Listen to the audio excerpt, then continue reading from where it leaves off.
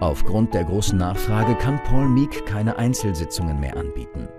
Nur um zu demonstrieren, hat er einmalig einige trauernde Menschen zu sich eingeladen, um zu zeigen, wie eine weitere Kontaktaufnahme möglich ist. Der Kontakt zur jenseitigen Welt ist immer natürlich interessant und spannend. Jeder Mensch hat Sehnsucht. Viele haben Sehnsucht von einer Oma in Jenseits, eine Bruder, eine Schwester, eine Tante. Jedes Mal ist es unterschiedlich. Und sehr oft gab es keinen Abschied nach einer Todeswahl. Manchmal haben die Leute Fragen im Kopf, hat er oder sie Schmerzen gehabt? War das ein Unfall oder war das tatsächlich Suizid? An diese verschiedenen Schicksalsschläge belastet viele Leute jahrelang.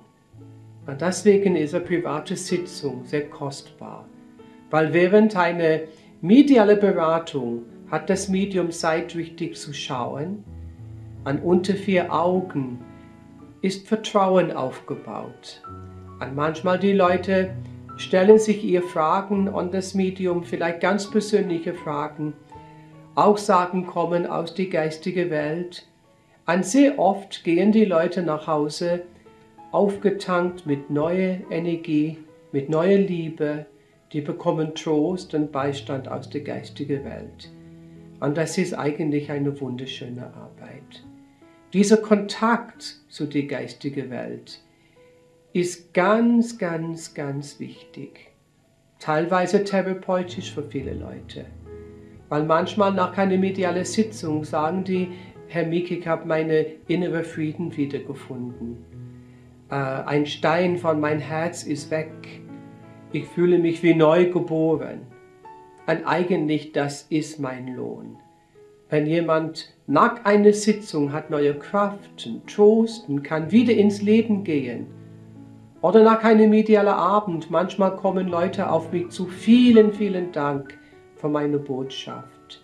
Jetzt weiß ich hundertprozentig, dass es mein Mann oder meine Tochter oder mein Sohn besser geht in Jenseits.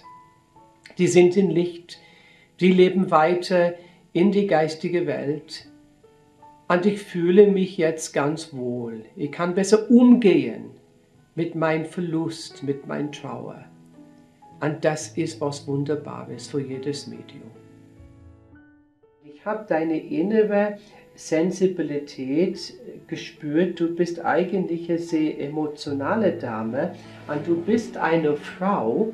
Ähm, ich weiß nicht, wie ich das sagen kann. Ich glaube, dass durch die Liebe manchmal hast du gelitten. Dass vielleicht mehrmals in dein Leben ist irgendwie, will ich sagen, die falsche Partnerschaft, aber irgendwas passiert, wo wo du hast gelitten, wo es war nicht so ganz einfach. Ne? An, an das ist mein Gefühl. An da habe ich ein, eine, eine, das erste Mal ähm, sehe ich eine ältere Dame und ich habe überlegt, ob das deine Oma ist. Es ist eine Dame gekommen und sie hat gesagt, aber sie jetzt ist auf dem richtigen Weg und ich sollte sagen, genieß dein Leben, wie das jetzt ist. Und mach dir nicht so viele Gedanken, weil tief in dir drin ist immer diese Gedanken wegen der schlechten Erfahrungen. Oh, das könnte kommen. Oh, was ist, wenn das kommt?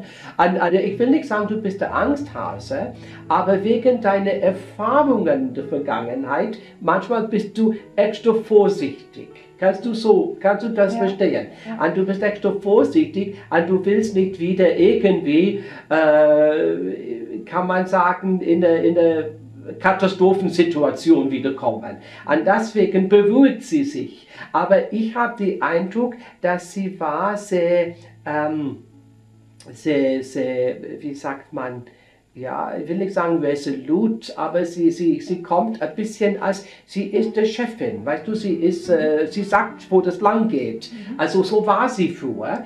Und sie ist nicht eins, mit Blumen auszuschmucken, aber ich habe das Gefühl, innerlich hat sie was ganz Liebes auch.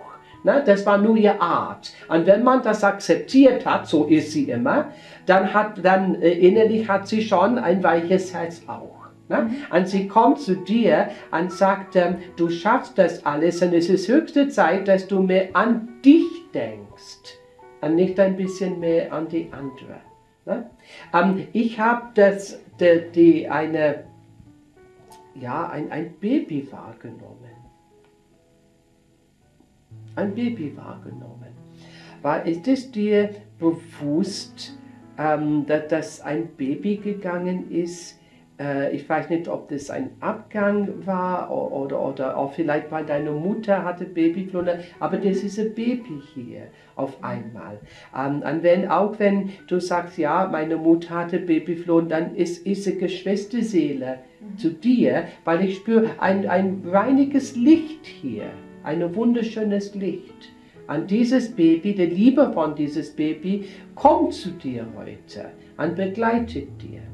Ähm, und wenn ich sehe ein reiniges Licht, dann tippe ich immer, oh, vielleicht der Baby war nicht auf der Welt, ne? aber nur kurz auf der Welt und zurückgegangen, weil diese reine Liebe ist so mhm. wunderschön. Und das ist was Wunderbares. Und mein Gefühl ist, ähm, dass du bist sehr, ähm, ja, äh, ich weiß nicht, ob du kannst gut dekorieren oder ein, ein, ein, eine Wohnung neu einrichten, aber ich habe das Gefühl, du hast ein gutes Hand für das. Oder vielleicht bist du gerade dabei, sowas zu machen, eine genau. Wohnung neu einzurichten und sagen, das möchte ich da und das möchte ich da. Weißt du, da hat, ich habe das Gefühl, das kannst du gut. Okay? Wenn ich würde sagen, du kommst mit mir jetzt einkaufen und wie, äh, du richtest das Zimmer ein, das machst du gerne. Ne? Da hast du Freude, aber da bist du gerade dabei, ja. was zu machen. Ne? Mhm. Ähm, einkaufen, Orte zu hinstellen, das mhm. kommt da, das kommt da. Mhm. Und, und ich habe das Gefühl, wie ein neues Lebensphase für dich. Okay? Mhm. Und dann würde ich sagen, ähm, geh deinen Weg, genießte Liebe kommt durch, genießte Liebe. Genießte Liebe kommt durch von der Geistige. Ähm, ich habe hier ein Mann wahrgenommen, und ich weiß nicht, ob das ein Onkel ist, mhm. ähm, weil er meldet sich als Onkel, äh, nicht als Papa, als Onkel. Mhm. Okay? Und, und ich habe den Eindruck, dass vielleicht konnte er nicht immer seine Liebe zeigen. Mhm. Weil er war hier und, und, und wollte dich begrüßen und hat dich bestimmt gemockt aber er war nicht eine Schmusekatze. Er war nicht jemand, der konnte dich in den Arm nehmen oder, küssen. Das war nicht seine Art. Ne? Er sagt, grüß dich, das ist es. Also nicht so viel. Also ich habe das Gefühl, ähm, auch die geistige Welt hatte Interesse, äh, wahrscheinlich in der Familie immer noch, äh, an, anschaut. Ähm, aber ich habe das Gefühl auch, ähm, dass, dass am Ende es, er ist doch schnell gegangen am Ende. Das war irgendwie ein bisschen überraschend, als er gegangen ist. Ne? Dass kein Mensch hat gedacht, er wird jetzt gehen. Ne? Aber er war ähm, vielleicht, bestimmt war er auch eine gute Seele, aber er konnte die Liebe nicht zeigen. Ich habe das Gefühl, er will nicht sagen, dass er war ein bisschen eigen, aber ich habe das Gefühl, er war ein bisschen eigen. Die Familie hat gesagt, oh, er ist ein bisschen komisch, äh, äh, er mischt sich nicht immer rein. Also er hat gemeint, jeder muss alles von ihm machen, aber er muss nichts machen. Das war seine Art. Aber er kommt aus die geistige Welt mit dem Lachen an den Lippen äh, und er hat gesagt, du schaust immer gleich aus. So, du schaust immer gleich aus, sozusagen, äh, du änderst dich nicht. Die einzige ist, er hat dich in Erinnerung mit anderem Haar. Ja. Ähm, weil als er gelebt hat, vielleicht hast du die Haar ganz anderes gehabt. An, an, an, an, an, er hat nur gesagt, sie schaut gleich aus, aber was hat sie mit der Haar? Aber äh, äh, es ist, er ist kein, ähm, wie kann, kein Expert mit äh, verschiedenen Also du magst nicht beleidigt sein, aber das ist typisch für ihn. Er grüßt dich ganz gerne und es ist, ob er möchte deine Mama begrüßen heute. Nicht? Und ich habe das Gefühl, vielleicht haben die sich nicht immer gut vertragen. Diese Onkel meine ich jetzt. Ja, ne? genau. Vielleicht haben die irgendwie ein bisschen gestritten, ja. oder vielleicht ist deine Mama zu ehrlich für ihn und sie sagt ihre Meinung ja. und das passt mhm. ihm nicht. Mhm. Ah? Ja, aber weil es komischerweise, mhm. ähm, weil er hat gesagt, grüß der Mama, aber es ist der Papa, es ist aber grüß da äh, schicken möchte. Ne? Weil er sagt, mach dich nicht so viele Gedanken über deine Papa. Und da habe ich ihn gefragt. Und hat er gesagt, aber viele Grüße. So, ja. so ja. es könnte sein, es ist der Bruder von der Papa, ja, genau. ähm, nehme ich an, weil die, die, die, die Gefühl ist eher, dass er will deine Papa den Kuss geben, hat deine Mama geküsst, aber es ist ihm bewusst. Sie hat ihm immer gesagt, ganz genau, was sie meint. Ja, okay? Und die beiden vielleicht haben sich nicht immer so gut vertragen. Ist das okay? Das ist, das ist ehrlich, weil genau. es passt, weil das ist, wie er war. Weißt du auch jetzt, wenn du sagst, er war ein bisschen komisch manchmal. Streng, er kommt schon liebevoll durch zu dir. Er war streng und er war, äh, wie sagt man, ein bisschen derb manchmal. Mhm. Streng und ein bisschen derb, ein bisschen ja. so äh, grantig, nicht ja. immer so, ja. so gut drauf. Ne? Mhm. Aber er ist eine Dame mit rötlichem Haar jetzt erschienen. Sie war äh, jemand, und sie hat dich gekannt, weil ich gehe zurück zu ein, zu, ich gehe zurück zu einer Ehe, das nicht, ich nehme an, ähm, dass, dass, äh, dass du hast ein Er hinter dich, ne? dass ein Er ist vorbei. Jetzt ist es eine ältere Dame? Ja, eine ältere Dame. Ja, dann war's eine ältere Dame, aber was ein älter, ich hätte sie geschätzt um die 70er, ja. aber 72 sowas hätte ich mhm. geschätzt. Dann war es von meinem Ex-Mo die, äh, die Oma. Ja, das ist, sie, sie, gehört, äh, sie gehört zu einer Ehe, das vorbei ist. Mhm. Und wenn du sagst, mein Ex-Mann, es ist okay, aber sie hat dich gekannt, mhm. weil sie kommt auf dich zu mhm. und sie war gepflegt in ja. ihrer Art, ja. so eine gepflegte alte Dame, sie hat ein bisschen Schmuck angehabt, sie hat die Haare schön ja. gemacht genau. und sie hat immer, ja, sie hat sich schick gemacht, aber sie ist eine ältere Dame, ich hätte geschätzt vielleicht 72, aber sie sah gut aus als alte Dame mhm. und sie hat dich gemocht, weil sie hat gesagt, wir trinken eine Tasse Kaffee miteinander. Weißt du, und ich habe das Gefühl, ähm, als ob sie möchte sagen, ähm, was vorbei ist, ist vorbei, aber wir mögen uns immer noch. Weißt du, sozusagen, ja. dass, dass die Ehe auseinander, das ist okay. Mhm. Und weißt du, was sie gesagt hat? Äh, Recht hast du gemacht. Sie hat dich gemobbt und sie sagt, ah, mir ist egal, Hauptsache jeder ist glücklich. Das ist die Art, mir ist egal, Hauptsache jeder ist glücklich. Aber damals hat sie dich, als gesagt, in Herz geschlossen und sie ist äh, gepflegt für ihr Alter und sie schaut auf dich und ich finde es schön, dass sie kommt durch heute ja. und begrüßt ja. dich. Hast du nicht mitgerechnet? Ich, ne? Na? Weil sie sagt, wir haben uns gemobbt und ich habe dich nicht vergessen. Und sie sagt auch, ähm, du schaust sehr gut aus, sie, aber sie hat gemeint, oh Gott, sie hat gemeint, du sollst eine Kartoffelsuppe essen. Jetzt muss ich aufpassen, was ich sage. Sie sagt, aber ein bisschen zu, zu dünn, eine Kartoffelsuppe wird nicht schaden. Ne? Weil sie war nicht so, so ganz schlank, mhm. ne? aber sie ist auch nicht so gut beieinander, sie war normal. Ja. Also habe ich sie mhm. gesehen, aber sie wird nicht irgendwie super geben. Aber nett ist sie. Nimmt die liebe Grüße an aus der geistigen Welt.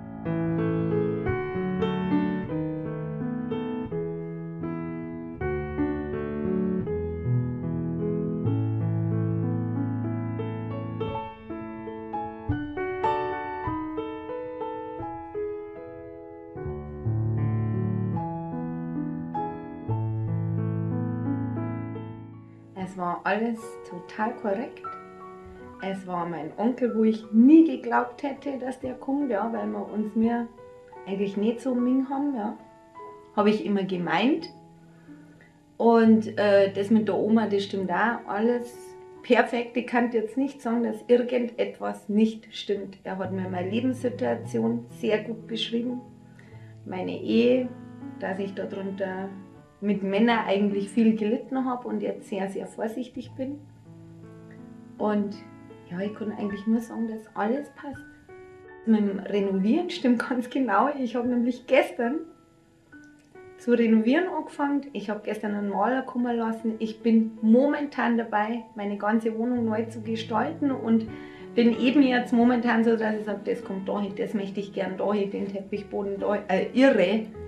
Passt ganz genau von meinem Ex-Mann, die Oma, und das hat korrekt gepasst, ja, weil die haben einen riesen Bauernhof gehabt und eben drum die Kartoffelsuppe, weil äh, bei denen hat es natürlich sehr viel Kartoffeln gegeben und ich, ja, ich bin ja jetzt sicherlich zu dünn. Und da hat sie immer drauf geschaut, dass ich was ist und ich war früher mal ein bisschen stärker wie jetzt. Also ich bin eigentlich froh, dass die alle gekommen haben und es waren eigentlich die, wo ich am wenigsten geglaubt hätte.